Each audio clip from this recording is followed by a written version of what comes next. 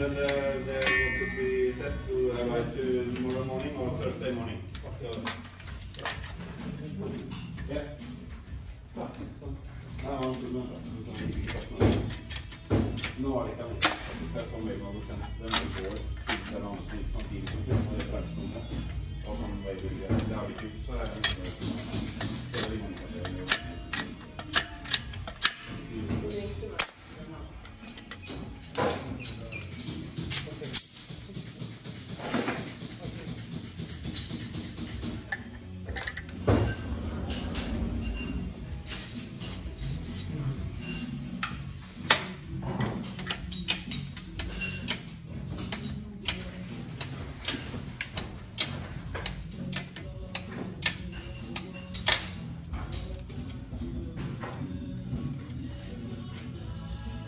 Yeah.